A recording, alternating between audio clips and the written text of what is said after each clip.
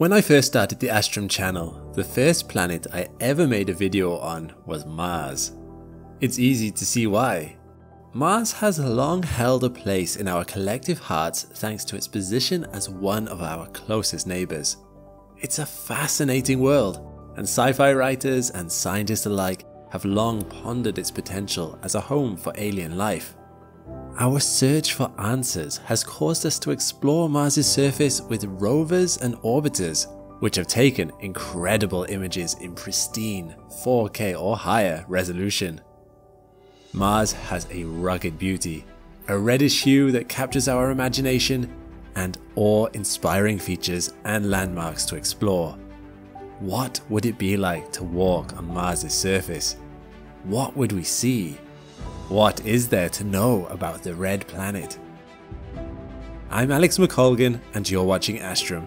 Come and see some of the captivating 4K images of the planet NASA and plenty of space agencies around the world are racing to get to as we explore some of the most incredible sides of Mars that you may not have seen before. To begin with, for an alien planet, Mars is not as foreign as you might think. Earth and Mars share a lot of similarities, one being the length of day. The solar day on Mars is only slightly longer than it is on Earth, 24 hours, 39 minutes and 35 seconds.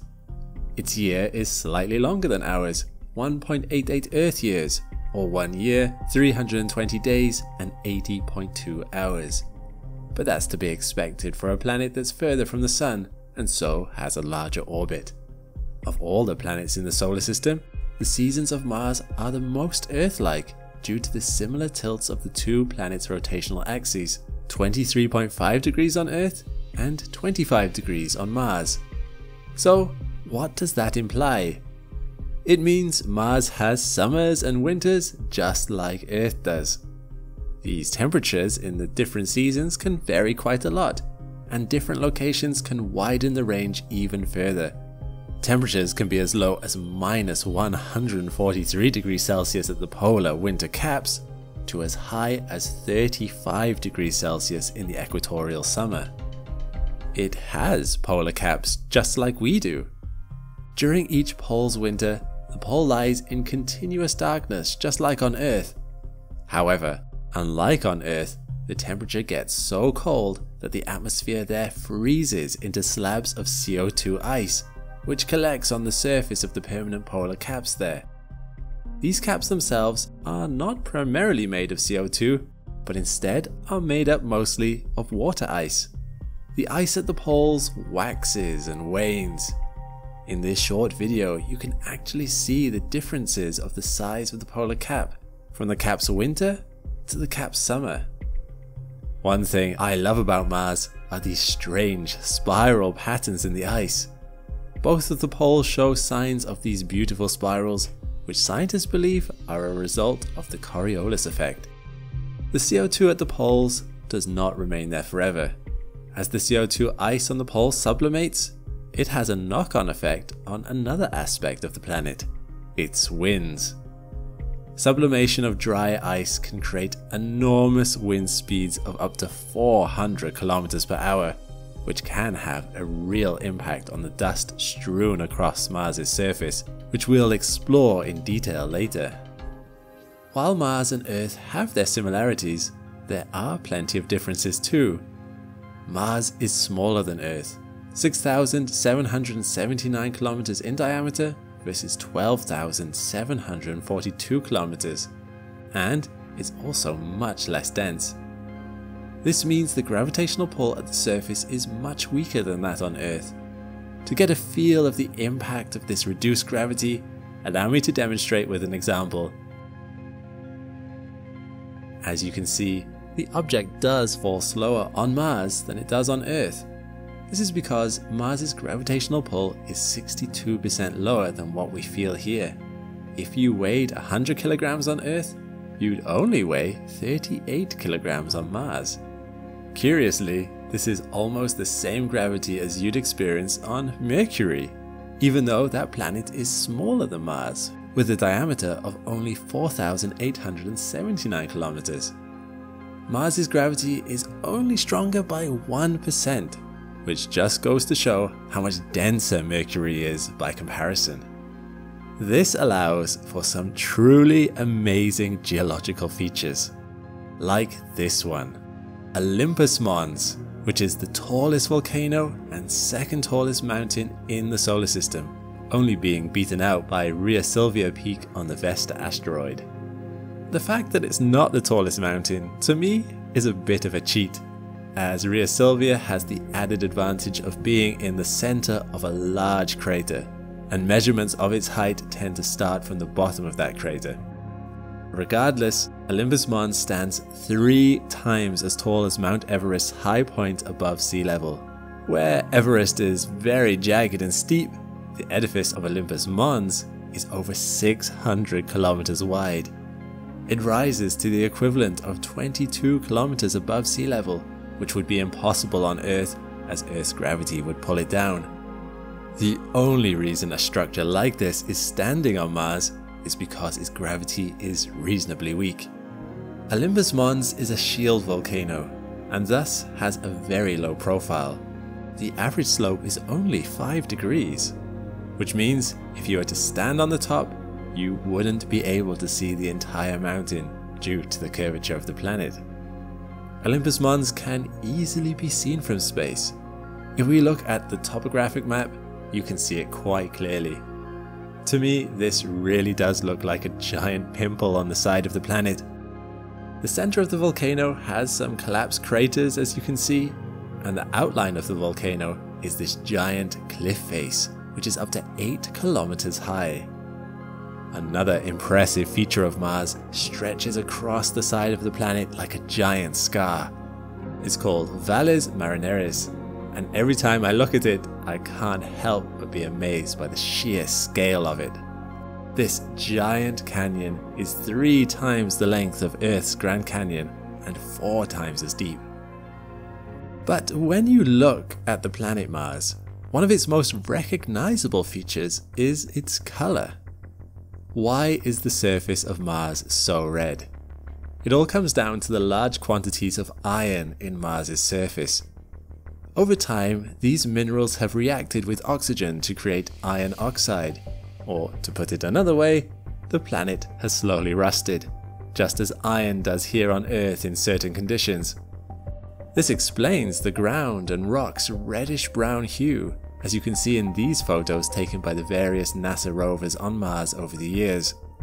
Images like these really help you feel like you're there on the planet's surface, in a level of resolution and clarity that would have been an impossible pipe dream for astronomers only a century ago.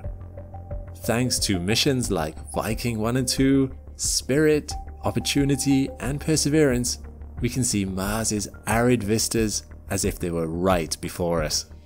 Now, after looking at some of these pictures, you might be tempted to think that the red planet is a dead planet, but actually that's far from the case. Mars is very active and there's lots of things happening on its surface. For example, have a look at this avalanche which happened in 2008 as an orbiter was going past. What was caught on camera was very surprising. Scientists could see a lot of dust had been kicked up by the fallen dirt. What you're looking at here are some dunes which are up to 700 meters tall, and this picture is about 4 miles wide so you can see that the dust cloud is not exactly small. And here, take a look at this. Did you know that there are spider colonies on Mars? Arachnophobes? Don't worry. These creepy crawly shapes might be 45 meters to 1 kilometer across, but they are not truly spiders. Instead, they are carbon dioxide ice that has been warmed up by spring sunshine. Ice underneath the surface is warmed by sunlight and reverts back into its gaseous form, which then bursts through the ice up to 1 meter thick on its way back to the Martian atmosphere. This eruption of gas explodes upward in a large geyser and takes dark material with it, scattering the material around in spider-like patterns. These images were taken by the ESA ExoMars Trace Gas Orbiter just recently, as it flew over Mars in early 2024. Another example is this dune, photographed many times over the course of a year, and you can see that it does change quite a lot. There are ridges which become more apparent as the dust gets worn away. And I've shown a number of pictures of fresh impact craters so far, where you can see the dust has been kicked up by the impact. This one is particularly interesting because after the impact, water ice in the ground melted, and you can see the trail as it flowed away from the impact crater. The colours there are just to show depth, they're not real colours. Mars' surface is awe-inspiring to look at, but this is sometimes harder to do than you might think, as Mars is home to huge dust storms. When fast winds pass over the surface, they pick up a lot of the loose dust on the ground, creating huge walls which can pass over the whole planet. It's sometimes hard to imagine the scale of the phenomena. These storms can very easily be seen from space. Have a look at this dust storm which was captured in 2012, and then only a week later you can see the difference since it died down. And on this photo, if you look at the North Pole, you'll see the storm which has passed over the top. Global dust storms are unlike anything we ever experience here on Earth, and they are so fascinating I've done a whole video on them, which you can watch here. What do you think caused these patterns on the surface of Mars? Amazingly, they're caused by dust devils. These mini tornadoes are surprisingly common on Mars and have been photographed many times. Here we can see some from the orbiter's point of view. It's estimated that this plume is over 800 meters high and about 30 meters thick, and the shadow of this dust devil is about 2 kilometers across. And from the rover's perspective, we're actually fortunate enough to have a film of dust devils going past. You might think that with all the atmospheric phenomena we've just discussed, that Mars has an atmosphere that's comparable to that on Earth. This is not the case at all. We are 38,000 feet in the air right now above the ground level, and the air here is very, very thin. If I was to go out of the bay right now, not only would I fall to my death, but I would also struggle to breathe along the way. Now, Mars is a bit like this, except even worse. If I wanted to actually get the same sort of atmosphere pressure as Mars, I'd need to go up to 120,000 feet into the Earth's atmosphere to get a similar sort of level. The breathing issue isn't helped either by the fact that 96% of the atmosphere is carbon dioxide. So, if you did want to visit Mars, you'd have to wear a pressure suit. Thankfully though, that doesn't stop Mars from having some absolutely beautiful sunsets, some of which have actually been captured by the rovers on Mars. The lower atmospheric pressure on Mars wasn't always that way. The presence of dry riverbeds proves that Mars's atmosphere was once thick enough to retain the heat and pressure necessary for liquid water to flow. So where did that atmosphere go? Scientists believe that Mars's magnetosphere, or lack of one, is to blame. Scientists believe that Mars lost its magnetosphere 4 billion years ago, which allowed solar winds to strip away atoms from the upper atmosphere for all of that time. Some orbiters of Mars have actually detected these ionized atmospheric particles trailing off into space behind Mars. One of the last things I want to focus on today is Mars's moons. Mars has two known moons, Phobos and Deimos, which are small and irregularly shaped. Compared to our own moon, they are very small. If you were to look up into the sky on Mars, this is about how big they would be in comparison to what the moon looks like in our sky. While Phobos is the biggest of Mars's moons, even here, its apparent size is a little misleading, as Phobos is actually a lot closer to Mars than Earth's moon is to Earth. The moon is 384,400 kilometers from us. Phobos is just 6,000 kilometers from Mars, a little further away than London is to New York. It might be more surprising to you that the moon is so far away from us. you can fit several Earths between the Earth and the Moon, but only one Mars between Mars and Phobos. Deimos, on the other hand, is very small and also very far away. So while Phobos is relatively large in Mars's night sky, Deimos looks like just a star orbiting the planet. I think you'll agree though, they are very pretty moons, even if they are tiny.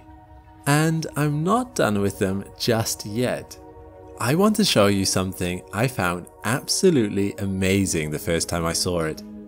It's a solar eclipse of Phobos as taken from one of the rovers on Mars.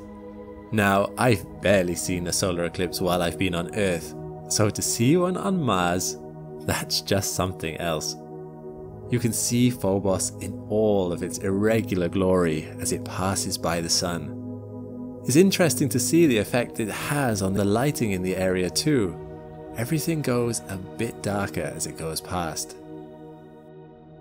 Well, that's about all we have time for today in our exploration of Mars. But let's give ourselves one parting selfie for the road.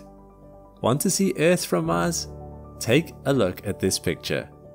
We're a little hard to see, just a tiny dot in the night sky, not really that different from a star. It gives you an interesting sense of perspective though. Although Mars to us looks so tiny when we see it at night, we don't often think about how small the Earth must appear from other planets' perspectives. All the lives and stories that play out all happen on this barely noticeable pinprick of light in the night sky. Here's one in a little better detail. This was taken at a distance of about 80 million kilometers, so it looks quite small and a bit blurry, but that's to be expected. But just think, Every single one of us was in this photo.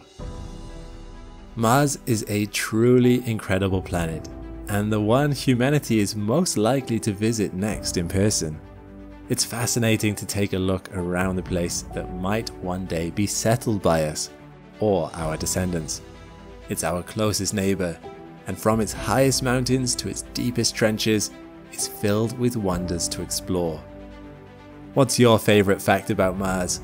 And which of my old videos about the solar system's planets would you like to see remastered next? Let me know in the comments below. For now, thanks for watching, and I'll see you next time.